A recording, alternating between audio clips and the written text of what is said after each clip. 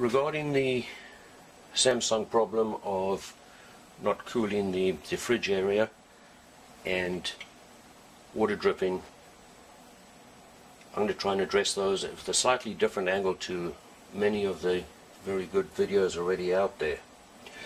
Now in this fridge, which was built in nine, uh, 2014, so who knows when it went into service, this was actually thrown on the side of the road. The owner had just given up with it.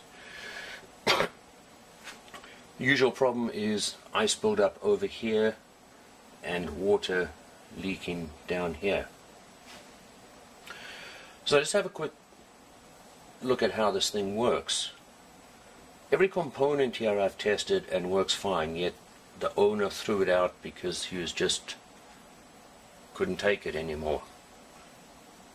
The best mod that I've seen that I like is moving this defrost sensor which usually sits over here to here because this is where the ice builds up.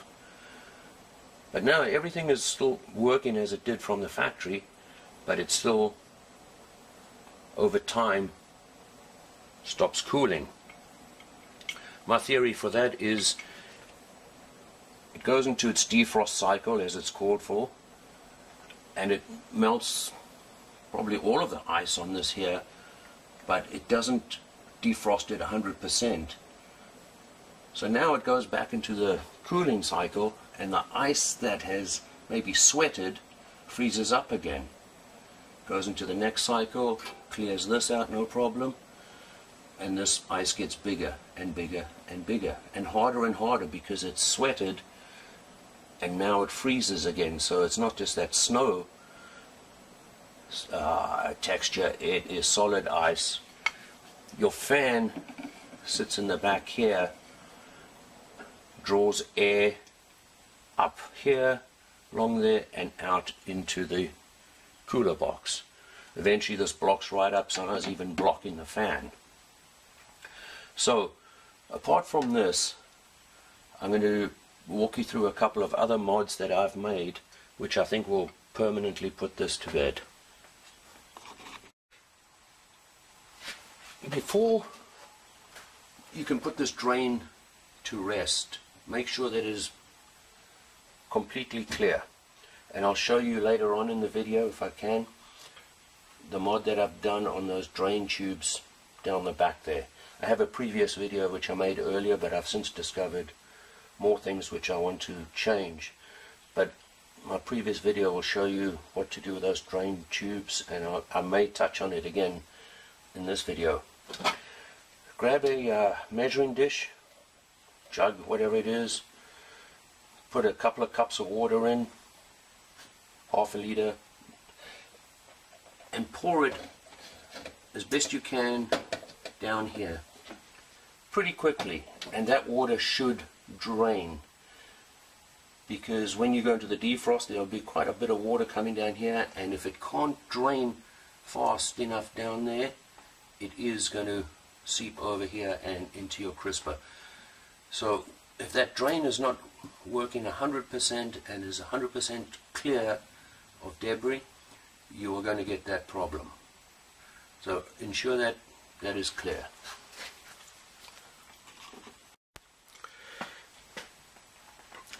The nice fascia cover that goes over here, um, if you are going to remove it, make sure that you absolutely defrost this before you pull it off because there's a lot of styrofoam and it's very delicate and if it's frozen to anything and you pull it off you will damage it pull it, push up a little bit once you've loosened the screws and ease it out. If there's any resistance that feels like it's not just the friction, stop, defrost it some more. You can force this fridge into forced defrost mode if you look on the web. A couple of key put, uh, couple of pad pushes and you will force this heating element here to cycle.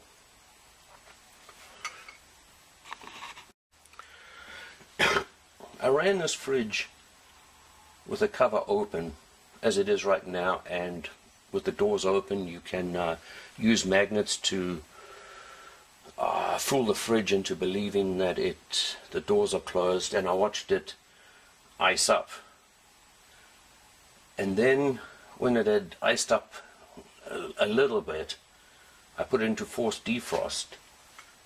And what I noticed is that as it defrosts, the water hangs on the edge of a lot of these fins, just hanging here. I personally would like it to, well, and then the resultant is that it it's going to drip down here and hit the splash tray which is on the other part of this cover.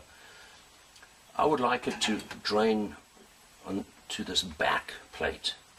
So what I did is I've taken these tabs which all sit horizontally and with a pair of pliers I've taken them and I, you see you can turn, I don't know if you can see that but I've turned them so that they slant backwards at the top.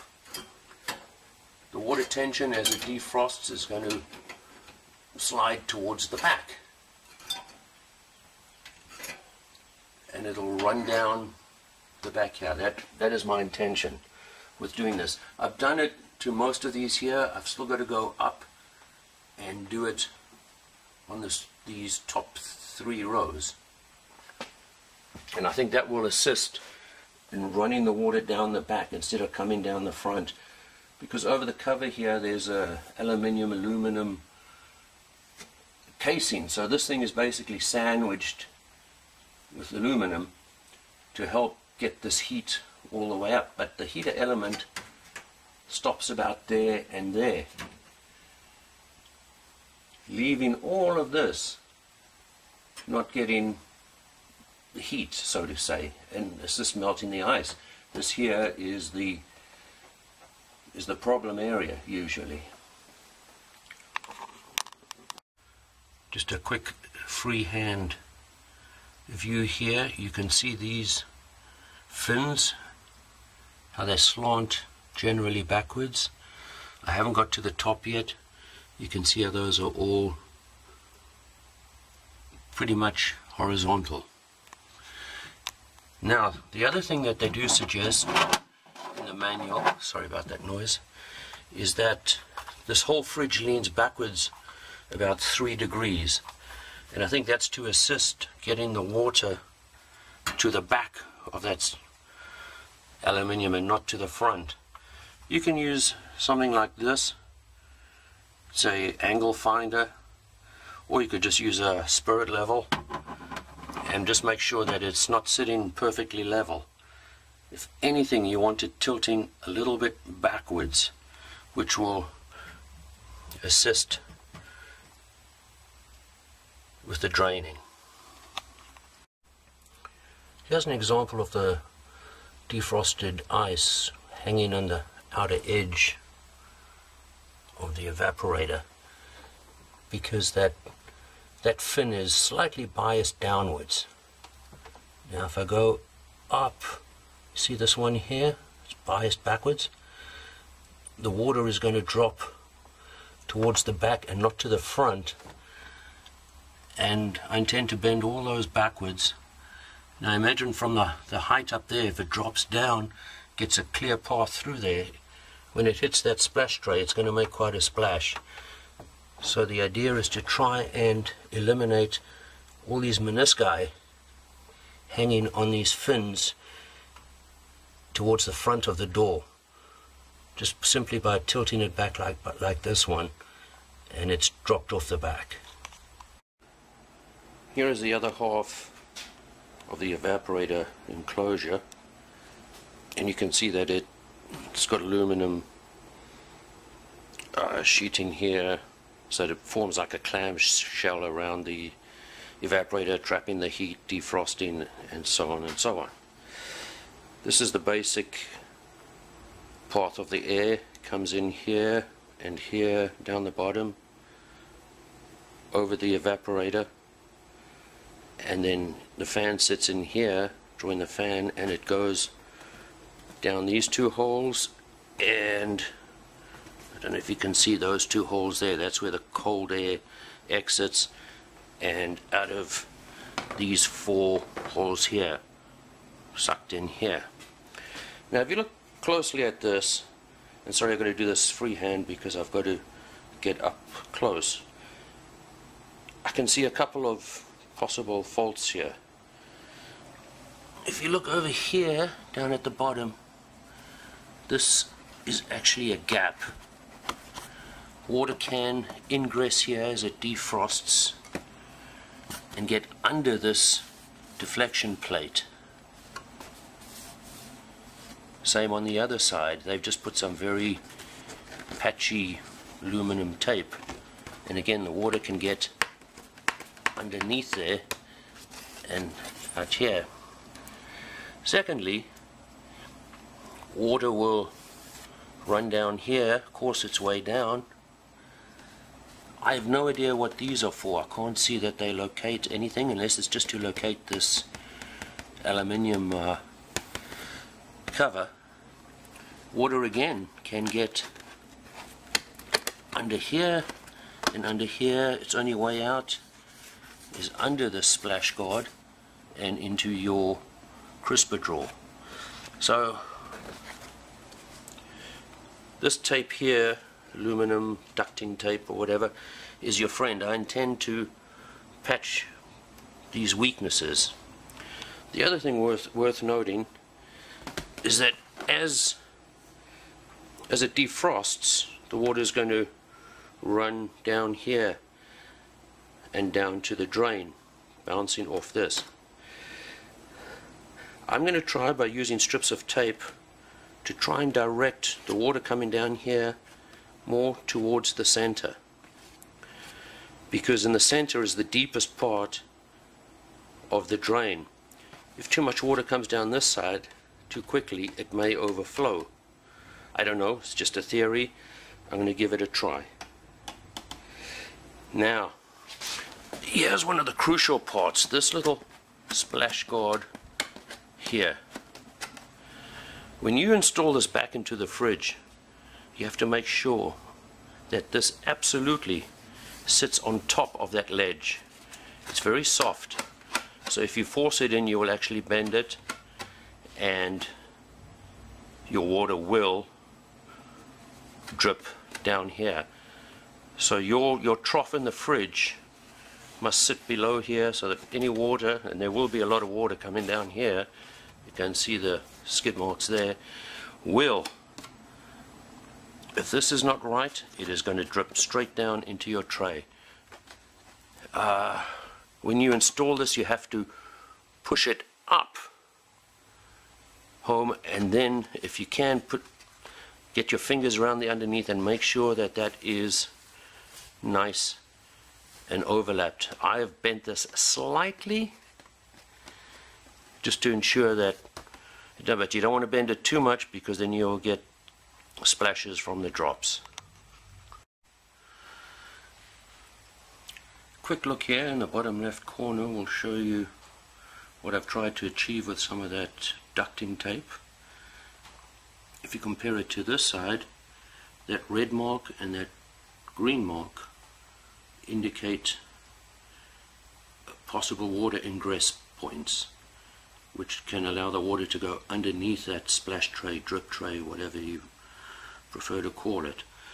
I'm hoping this again will prevent that and that slant on the uh, on the right hand side of that foil is going to help deflect some of the water dripping down to the center where the drain hole is. Here's the uh, completed uh, modification, um, you can see that this waterproofing, for want of a better word, is far more substantial than the factory waterproofing.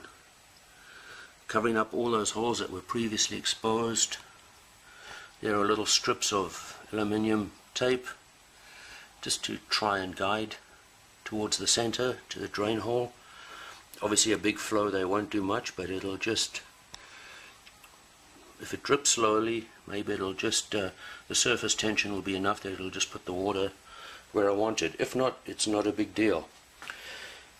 So that's pretty much, I think, all that I'm going to do on this one. one final mod that I'm going to do, and I hope you can uh, see this as I do it, is I want to bring some heat naturally up to here, the ice problem area. This red line here and here, if you can see it, that indicates the top of this aluminium shroud. It only goes yay far. Right behind it you have this uh, plastic, which is an insulator more than a conductor of heat. So, these guys are just freewheeling up here. They're getting the convection from the heater. And that's but up here, there's virtually nothing left to go up. So, what I'm going to do is take a strip of this aluminum foil, and I swear I'm not a salesman for aluminum foil. And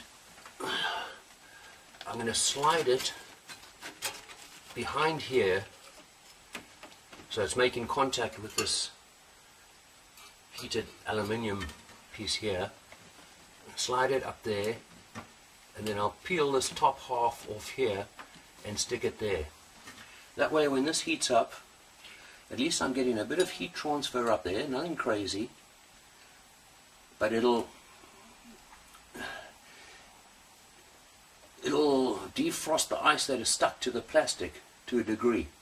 If nothing else it'll act as a heat sink and when the fridge is off, it'll be drawing, uh, be, the, the cold will travel through down to here to warm up. You can't transfer cold, I know that. It's only energy you can transfer, but just for simplicity's sake, you can see where I'm going with this. Just to wrap up this video, I'm going to show you the mod that I did, which I think is one of the better mods for this whole fridge system and probably one of the easiest. If you pull the back cover off your fridge with the uh, compressor and condenser are, you'll see these three pipes pretty much in this order. I think this one is the, these are drain pipes. It's for the freezer, the fridge and the ice maker. Now inside of these, and I don't know if you can see it, there are little duckbill valves.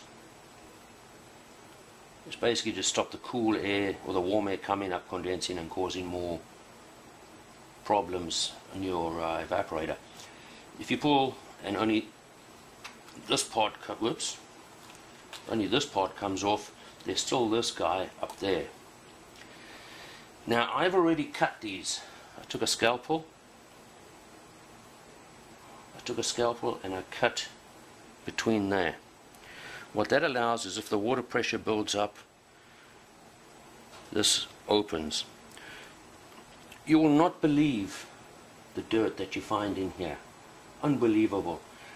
And it's not from dirt in your fridge, it's from dust, pet hair, pet dander, and it all condenses and goes, and it's tried, I'll see if I can, they try to force it through that little gap there. And if you squeeze it, it, it will not open like that. So this will just, it still retains its old shape, but if you do get a blob of something or other, the chances of it self-clearing are much bigger. I would do this to all three of those